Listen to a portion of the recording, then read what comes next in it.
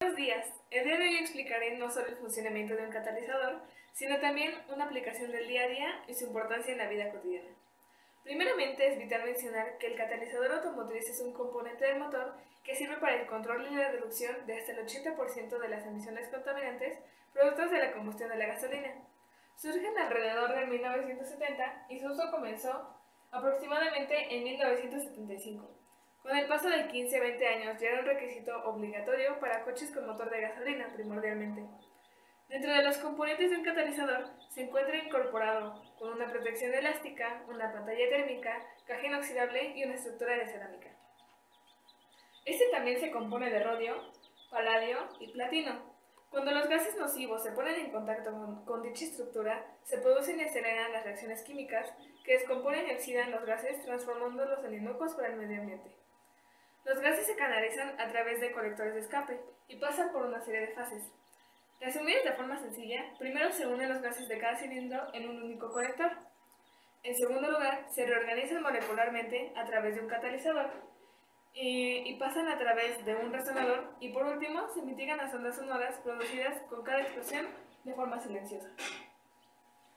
El primer paso es que las moléculas eh, de monóxido de nitrógeno se disocian por parejas en nitrógeno y oxígeno a temperaturas de hasta 500 grados centígrados. En segundo término, el nitrógeno, el monóxido eh, de carbono, los hidrocarburos y el oxígeno vuelven a reaccionar.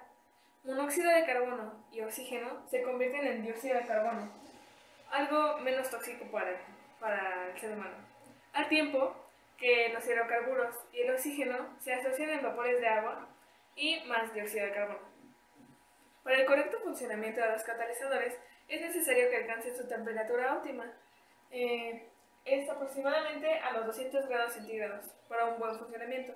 Así que es necesario no conducir siempre a punto de gas y bajas revoluciones, o el bloque cerámico puede acabar resistiéndose. Eh, hay que apuntar también que para que los catalizadores funcionen bien, la proporción de aire y combustible debe ser próxima a la estequiométrica.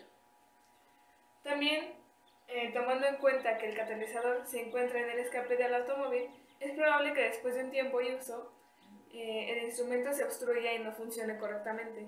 Esto también puede ser provocado al colocar una mezcla incorrecta de combustibles. Bueno, ¿y qué gases son eh, inocuos para la salud? Eh, que sean de la obtención de productos a la salida del escape del automóvil.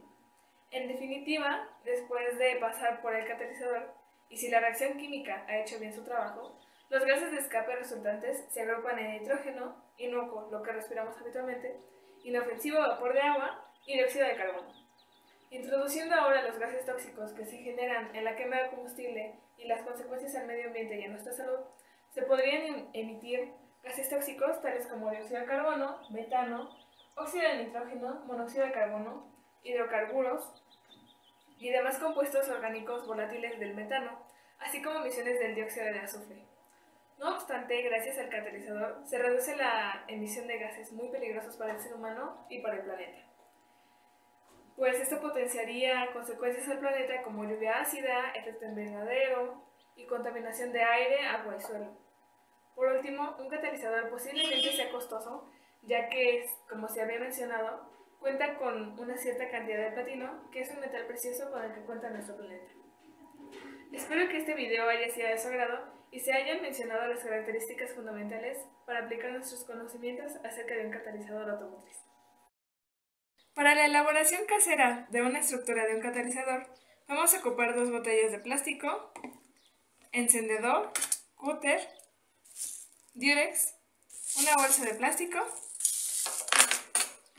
hojas recicladas y una fibra o esponja para lavar los trastes. Bueno, el primer paso fue cortar las botellas y juntar las partes superiores. Adentro coloqué las esponjas para lavar los trastes o las fibras, que simulan justamente el filtro, y junté más que nada las partes superiores porque simulan el primer tubo donde las moléculas nocivas llegan al catalizador y el segundo donde los gases limpios salen al escape. El siguiente paso vamos a prender nuestro encendedor y quemar un poco de nuestro papel para después apagarle y guardar el humo en nuestra bolsa. Así simularemos también los gases tóxicos que se generan en la quema de combustible. Ahora que tenemos los gases tóxicos acumulados en nuestra bolsa, vamos a quitar nuestro papelito y a colocarlo en el primer tubo, que es el primer conecte que tiene con el catalizador automotriz. Después de ahí vamos a soltar los humos y se puede observar fácilmente cómo salen por el segundo tubo donde se supone saldrían ya limpios.